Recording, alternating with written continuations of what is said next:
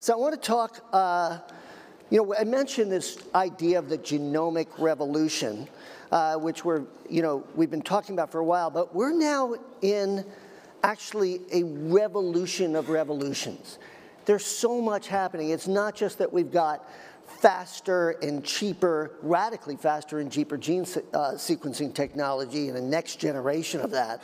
But in addition, we have uh, a whole new set of gene editing tools that are radically changing uh, science, uh, the ability to actually intervene in our own you know, DNA.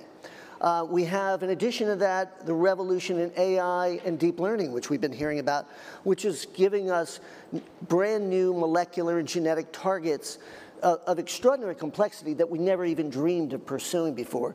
We have a revolution in immuno-oncology, which is helping us understand how to harness the immune system to fight things like cancer. And we've already talked about the revolutions in 5G and mobility and sensors and everything else in robotics. So my question for you, Simone, to start with is, is this time different? Are we really in a place where this confluence of revolutions is different than it ever has been before? And if so, how on earth do you start to invest in that? I think the revolution is definitely here. It's a revolution of, it's a combination of revolution of biology and um, deep machine learning, AI. So for example, uh, if you want to uh, go for, if we want to go for cancer early detection, it's almost a dream. But it's a combination of understanding the genomic features and, a and, and also the ability to deep sequencing by using AI tools. Yeah. So, you know, just to follow up though, you know, when there's so many new technologies, how do you make the bets that, you know, that harness all of them together, or do you focus on very specific kinds of tech? Because your, your, your investments are really unique as I've been looking at them to, I think only, in my experience, I think that formula only applies to venture capital investment or venture investors who intend to invest in a company at very early stage. Mm. So to be successful, actually, the principle is not to invest, not to diversify. Actually, it's to concentrate. Mm. To concentrate in areas where you can understand the technology or you have the ability to assemble resources that can help you capture the most advanced technology. Yeah. So the key is not to not to decentralize, is to focus. That's, inter that's interesting. Li Qing, um, I, I want to mention this other revolution, which I didn't mention, include that, which is the consumer revolution. And, you know, so much of the growth in your business, making these extraordinary gene sequencing uh, devices, um, there has been a, a movement towards things like 23andMe and Ancestry.com and Color and Guardant and, and uh, several others you know, but, but recently over the summer, uh, there was some softness in that market, and that affected your stock. And you know, it still sort of hasn't quite recovered. The question is, is that a temporary setback? Are we going to still see the consumer market dominate um, in the next uh, year? Okay. So I, I see uh, most uh, audience are Chinese. Can I yeah, can I just uh, speak in Chinese? Yes, please. 呃，我还是希望用中文来回答，就是。 For the Illumina technology in US, they have a mass uh, gene company like 23andMe, as you mentioned, and uh, a host of companies are using gene technologies. Uh, during their startups, they use uh, genomics, genomics uh, analysis because U.S. Uh, uh, is composed of different races, so race uh, analysis is a key topic. Um, but after all the population being analyzed uh, by the uh, races, uh, for the mass genomic companies, they are declining in their business. So all these companies are trying very hard to explore the new areas. For example, genes um, impacts to the human health, to their lifestyles, and uh, also to the nutrition aspects. Some gene companies uh, were even dedicated uh, to the uh, education of the infants uh, and also babies and children. So they were doing explorations as soon as they identify the new areas, definitely there are going to be promising futures in those areas. In China, situations are slightly different. Uh, large majority of gene companies uh, are still in its infancy, infancy uh, period, like uh, 23 Magic Box uh, and other companies. they have a very good application uh, situations. Uh, so a lot of continued investment still enjoy rapid development. Into this in a big way. I mean, you've got the UK, for example, which is sequencing 450,000 people. You've got the in the U.S. You've got the All of Us. Uh, you know, program at the NIH, which is two million, and then you just signed a deal with in China, right, to do something similar. 是的，我们去年就是我们 Indeed, last year we successfully uh, uh, won a bid.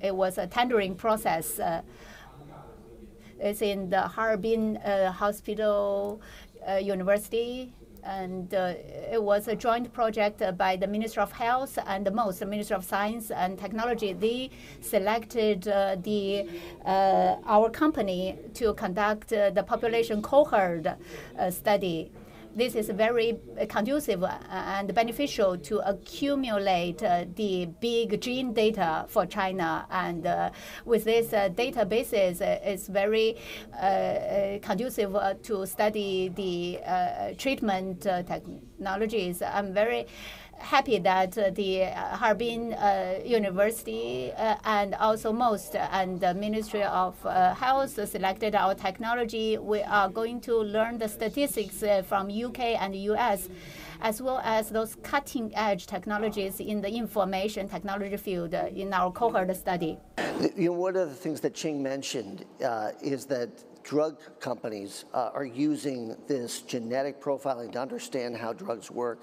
Um, there's another revolution happening right here in China. There are 15,000 drugs in the drug development pipeline here. Um, and obviously GPC is the China's largest producer and a distributor of drugs, including traditional Chinese medicines.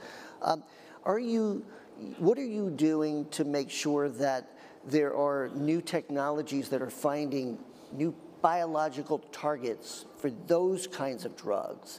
And could you talk a little bit about the effort to create international standards uh, for some of these Chinese uh, traditional medicines?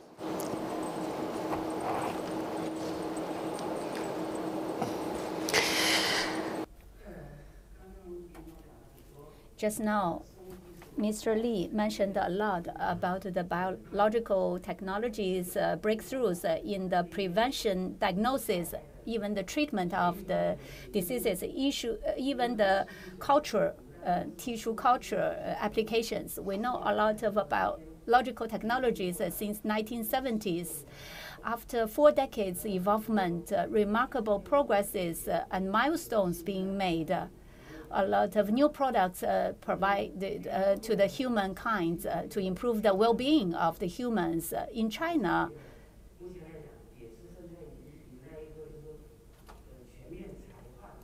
We are in the uh, full commercialization and industrialization of gene technology, but uh, it's a, a gradual process. Our group as the uh, largest leading pharmaceutical company in China. We rank number one for consecutive eight years. In recent years, we focus on the biological drugs uh, R&D work, especially the whole value chain. In particular, the supporting services in the whole value chain, um, including the diagnosis by using biological technologies and also the biological treatment, we had a lot of strengths and advantages. But in rolling out those technologies, we have one gene drug uh, um, to cure uh, the 10% uh, incidence uh, hepatitis uh, diseases in China, hepatitis B. Um, but uh, the review and approval process in China, um, because there's a, an, an, inadequate guideline in China available, so our work uh, progressed very slowly. But in this uh, process, uh, the cutting edge technology, like uh, from uh, Illumina and other companies, this would uh, definitely uh, promote uh, the rules and regulation drafting by the CDE in China Review Center of the drugs. and so we look forward to that. Just get into this idea of AI and using artificial intelligence, you know, in all of these intersections that we're talking about. And, you know, particularly in the case of cancer, and you, last year on this stage, you said that, a, that the cancer cell is the perfect AI cell.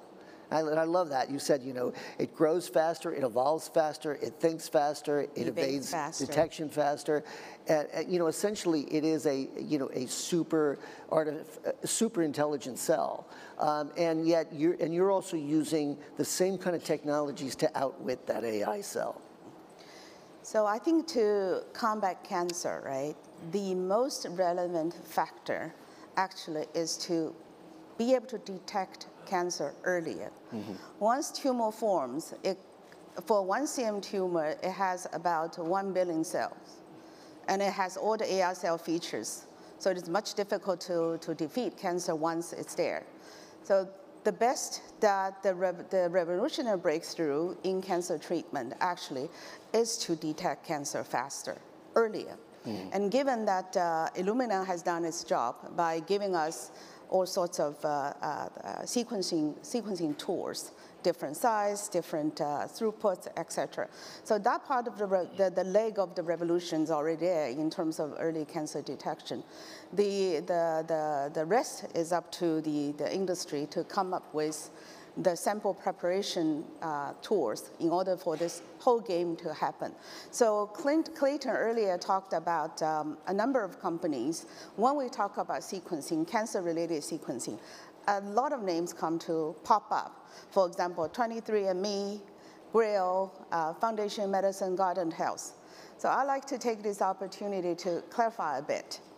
23andMe is for fun, a lot of fun, hmm. because it gives you the, A gives you the, the genetic feature as to who you are, what your family tree is, and it tells you genetically what kind of health risk you might be exposed to.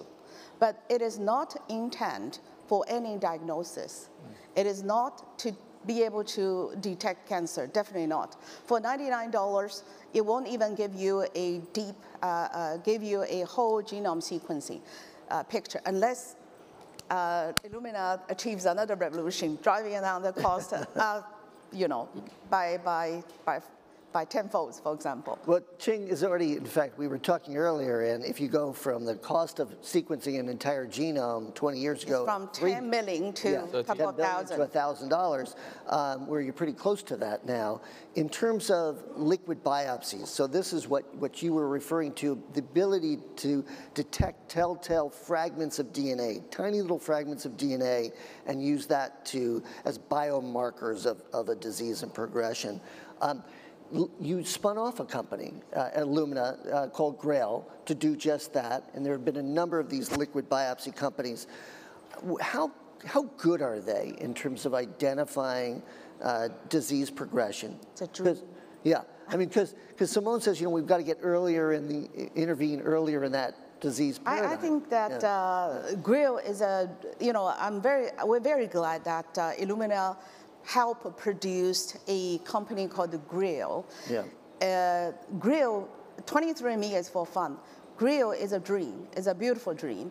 It intends to detect cancer at very early stage to substantially increase survival rate. Mm. What it does is it get a tube of blood from you and then see, try to capture the DNA and RNA released from tumor cell into the blood. So it is relevant from science point of view. But the difficult is that the difficulty or the challenge is that it won't be able to tell you or reflect the genomic feature from the tumors from which they are originated. Mm-hmm. So I might be able to tell you you may have cancer, but I don't know what kind of cancer it is and how it comes, it- how it managed to come to you. But I thought, but without gri- Grail, we don't even dare to dream. So Grail is a beautiful dream, but I think there is hope. The hope is another company called Thrive. Yeah. Uh, Thrive is backed by very so the mission of, of, of Thrive is the same as Grail. But uh, the difference is, I think, is that, uh, allow me to say that, um, with, with no, I'm not being disrespectful to Grail. I think Grail established a torch, which is really important. But Thrive is backed by very solid science. The, uh, the John Hopkins team, through decades of research, in 2018 has put out a beautiful paper in Science. It says it is able to localize the mutated uh, uh, cancer. Basically, it nails down from hundreds, hundreds, thousands, thousands of unknown numbers of mutations. It is able to narrow down 61 cancer-related hotspots mutations. Yeah. With that 61, someone might So I want, I want to come back to and Qing just a second, but I want to see if anyone has a question out there. And if you do, we've got some mic wranglers, and we'll have a paddle up there. Anybody have a question? Okay. Uh, well, if you do in just a second, I'll, I'll come right back to you. Uh, Qing, we talked about this uh, idea of using AI, though, to, to be able to make a little bit more sense, to, to ask those impossible questions, if you will, about what gene interactions are most likely to cause disease later on, whether it's a, a missense mutation or a deletion or a, of a specific uh, nucleotide or whatever it is. We know that in some cases, some, some mutations are more important than others. And can you talk a little bit about what Illumina, how Illumina is, is filling that gap? Yeah. Um, uh, so it is like this. Illumina, the way we fill the gap is different. We ourselves a lot of R&D of different diseases and diagnostics uh, methods. However, we pay more attention, we rely more on opening our technological platform to engage many companies on our platform to study, to research diagnostic of diseases, the mutation uh, models and mechanism. For example, in China right now, in tumor, we uh, Burning Rock, in the we work with them. So microbiology in Guangzhou, we also partner with Jinyu on many projects. Illumina, we open our platform, not we ourselves using AI tool to explore the diagnostic of disease. Rather, we open up our system, all the IVD uh, diagnosis interested companies can work on our platform to do their R&D. So the development results indeed is changing every day. Basically, globally in China, every day we can have a paper coming out to see the diagnostic of many uh, diseases, is much making progress. So in this aspect, we are a very unique company relying on an ecosystem to get the solutions for human diseases diagnostics. Illumina machines and tools are used in 90% of the world's uh, sequencing. So it's kind of an amazing figure uh, how you have you managed to capture that entire market there. Um, let's see if we have a question from the audience. Anybody? Got some? Yeah, well, we got one right there. Martin Reeves. I identified you, but you might as well identify yourself again. Yeah. Uh, Martin Reeves from the BCG Henderson Institute. I wanted to ask, um, these technologies um, have uh, profound, profound functionality, but of course one of the problems with pharmaceutical research is stagnant productivity, um, valuable drugs per dollar or unit of effort. Um, have we reached the point yet where these technologies are impacting on that stagnating R&D productivity? Anybody? Yeah. Simone, you want to take that, or, or Madam Liu? yeah. Yeah. yeah. Yeah, I, if I may. Yes, I think uh, sequencing that has a clinical application, either to test cancer patients or, or go for early detection. But sequencing is also very, very relevant in basic research. For example, a company called Foundation Medicine, it has a, a box of 500 genes. It really is very relevant in enabling research. To once you identify a new mechanism, but how to make it clinical relevant, Yeah. to what to link to what gene mutation to what disease. I think uh, uh, uh, gene, genome technology has come to a point where it is, it is very enabling to basic research or clinical research. Yeah. We have one more question? We've got time for one more question. Anybody? Lights on? Yeah. Anybody? I thought I saw another hand. Somebody shy out there doesn't want to ask a question. All right. So, um, Madam Liu, um, I want, I've got a question for you on, again, getting into the idea with so much, you know, histories of science in, in the Chinese drug development world. And yet there isn't that much, there aren't that many Chinese made drugs that are actually being sold overseas in markets overseas. How are you beginning to change that? I mean, we saw one approval, an FDA approval for a new Alzheimer's drug just the other day. But this is this is it needs to be a paradigm shift for China to enter the world of innovative pharma.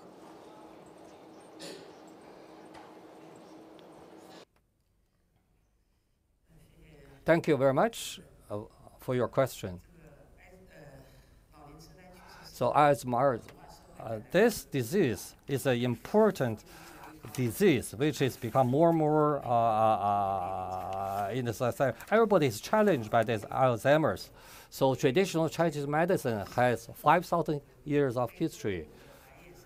It's very played a very important role for the involvement progress of Chinese society. It's a traditional medicine. So it has its uniqueness in treating these diseases. So my company has been dedicated to R&D of this kind of uh, uh, traditional medicines.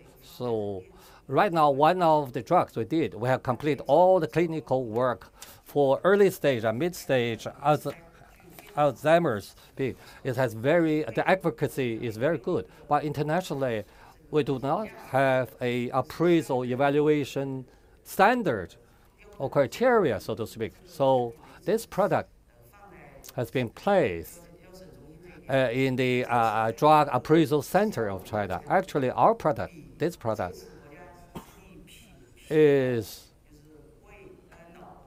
even better, more efficient than the just approved by the government medicine in treating Alzheimer's. It's better. However, we still want to make more effort to promote the marketization, the market launch of this product, so we can have a very good efficacy. So this traditional medicine can serve a bigger segment of the population. It is our belief traditional Chinese medicine in curing, preventing uh, human disease will play an even bigger role. much. We're going to have to leave it there. Thank you, Madam Yu, Li Qing, and Simone Song. Appreciate that. It was a great conversation.